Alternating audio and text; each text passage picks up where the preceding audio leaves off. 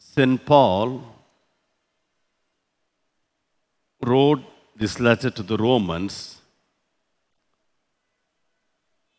informing that, that he would be visiting the church in Rome very soon. This letter is little different in the case that he was aware of all the other churches to whom he wrote letters. This congregation church was the only church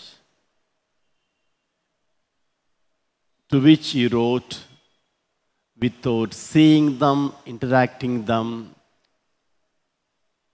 without having any knowledge of the daily activities inside the church. But he was very aware of the context in Rome, where many business people all over the world were living. They were thronging towards Rome. There is a saying you may be knowing that all roads lead to Rome. That was the business center 2000 years ago. The official language was Latin, but Greek was also recognized as one of the official languages. Paul wrote in Greek to the Romans. The church in Rome was mostly filled with non Jewish Christians. There were few Jewish Christians. There always used to be tension between Jewish Christians and non Jewish, otherwise, it is called Gentiles. They Jewish Christian used to insist on various customs that were followed by Jewish or Judaism in Jerusalem. There was little difference with that of the Jewish custom in Judea and those who were in diaspora in African countries and other European countries. Now, he uses this term, the gospel, the gospel. In Greek, it is called evangelio, evangelio. Royal families, they used to proclaim to make the people know about certain celebrations that are held in their royal court, namely birth anniversaries, wedding anniversaries, coronation anniversaries, and so on. For that, they use this term called evangelio, good news. For that purpose only, this Greek word was put into use by the Romans. Evangelio means some kind of good news that is meant to be related with the royal court, royal family, kings and queens. And therefore, when Paul wrote this letter, at the very beginning of his writing, he uses the term evangelio. Not only the celebrations in the royal court needs to be understood as evangelio, but good news of God, the Creator, good news of Christ's ministry need to be understood as evangelio. Evangelio. 13 times this term, gospel, is used in the book Letter to the Romans. The word God is used 153 times. Oh, therefore, some ex- experts in theology they say the book of God, the letter of God. They used to say.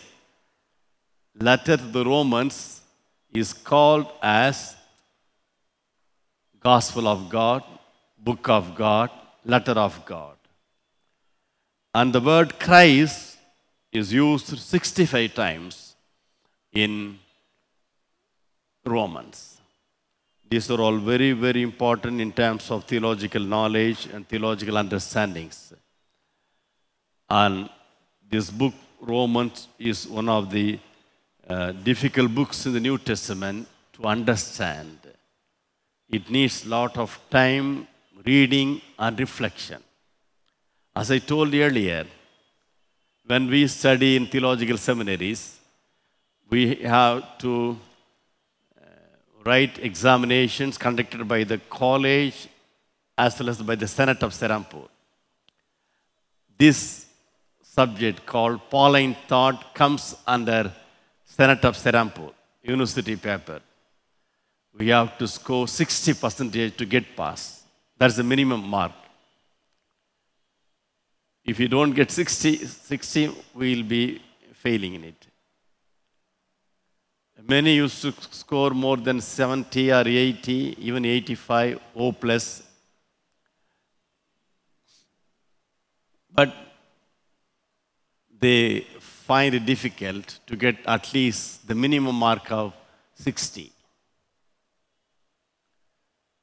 When we write certain questions to answer, if I write related with Romans, I need to also write what he was having in mind when he wrote to the Corinthians. And which was the earlier one? Galatian was, the letter was the first one.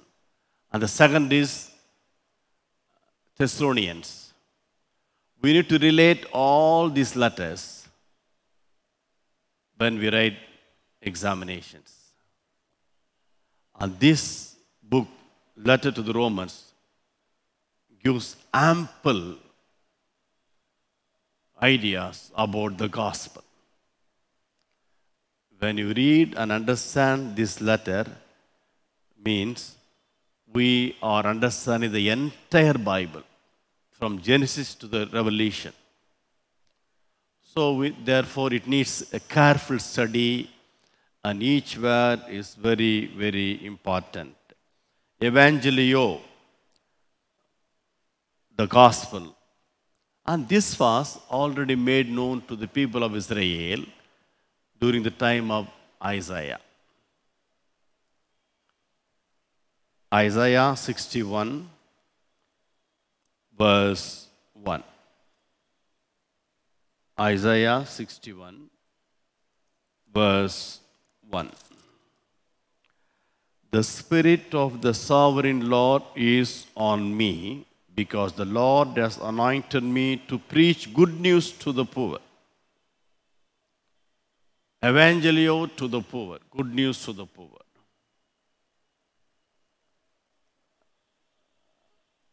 Apostles must be understood as Old Testament prophets and New Testament teachers.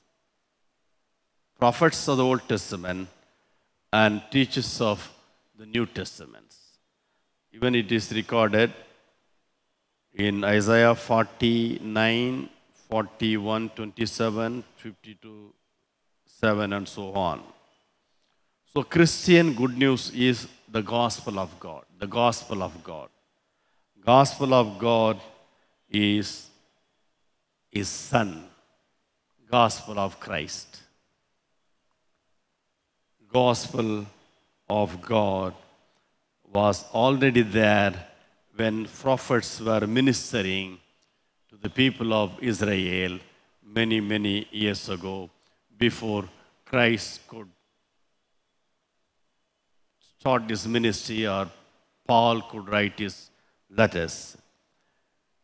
Luke chapter 24 after the resurrection, Jesus speaks about good news that were made available during the Old Testament period when he appeared before the 12 disciples or 11 disciples in Jerusalem. Luke chapter 24, verse 44. 24 44. He said to them, This is what I told you while I was still with you. Everything must be fulfilled that is written about me in the law of Moses, the prophets, and the Psalms. He brings in three different groups of the study in the Old Testament. Prophets, the third part of the Old Testament, which is called Nabim in Hebrew, Nabim. The Psalms is called Ketubim, writings, all writings. And Moses' law is called Torah. First five books are called Torah. And after that,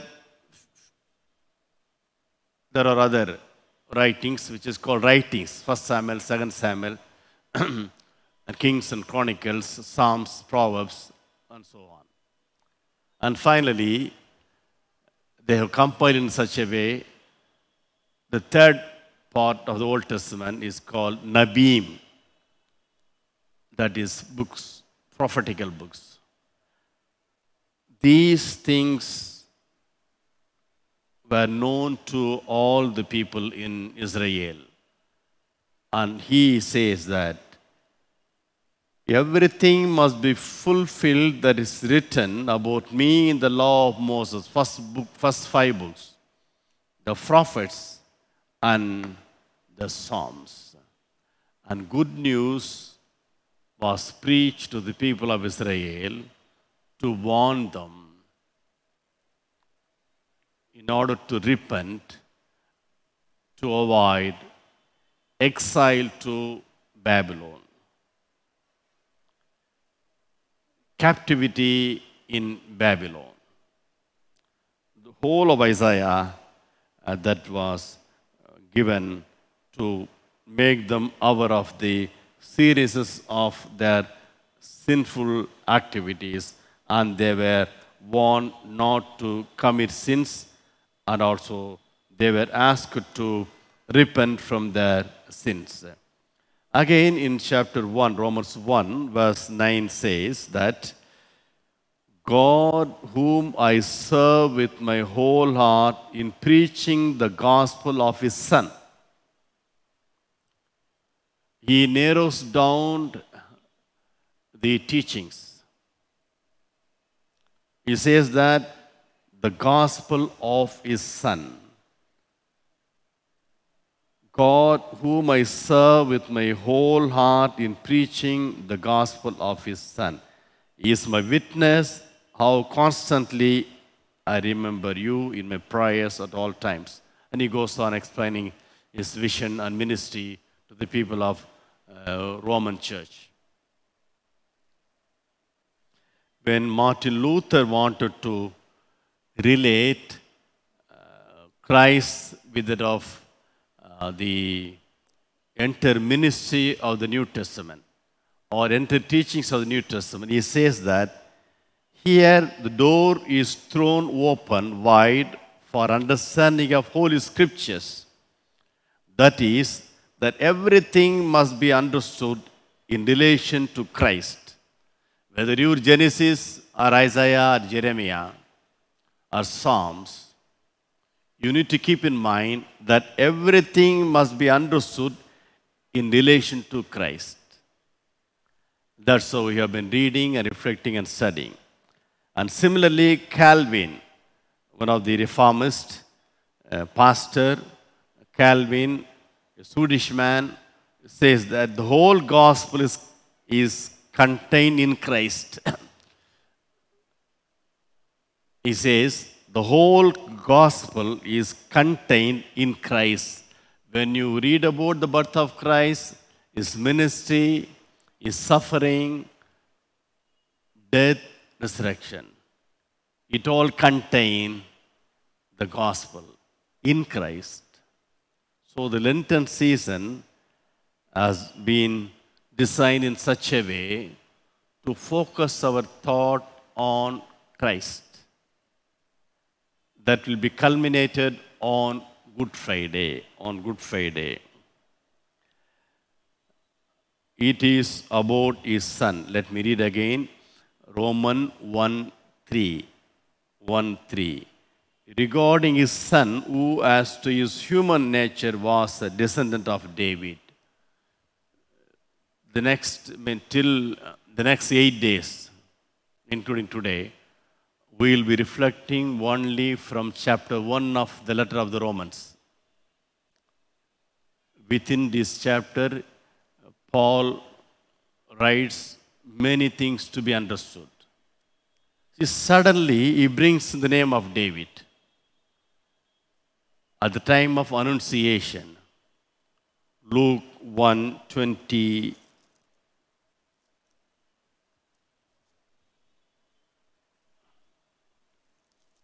when Gabriel appeared before Mother Mary, he says that Luke chapter 132, verse 32. He will be great and will be called the Son of the Most High.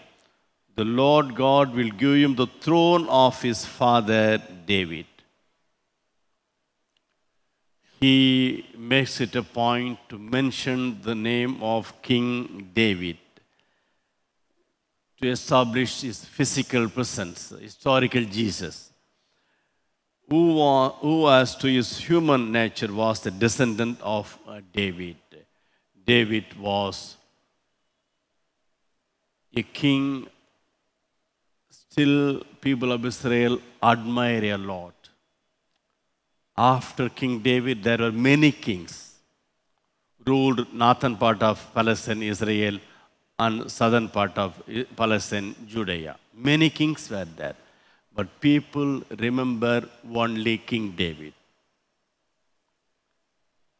He was a fallen man, but after that he was transformed.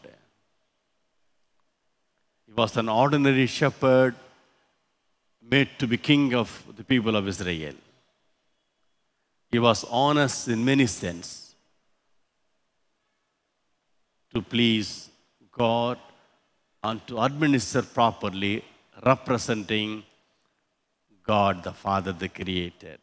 And therefore, he wants to highlight the tradition of the people of Israel where they honor, respect the administration, the piousness of King David.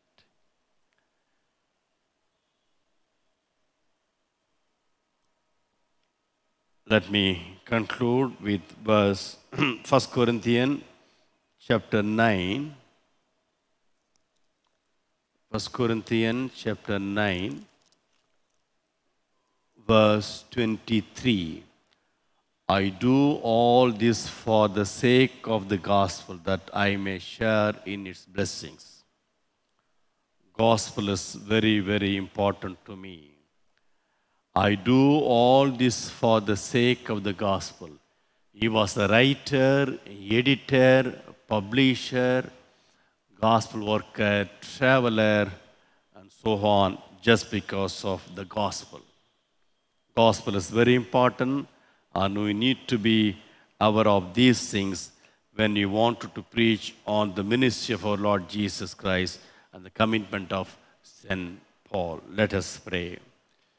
Gracious Lord, help us to be thy true servants in learning the biblical truth in order to protect ourselves from all dangers, in order to protect people from many kinds of dangers. Let our spiritual exercises be a joyful one and fruitful one. Jesus' name we pray. Amen.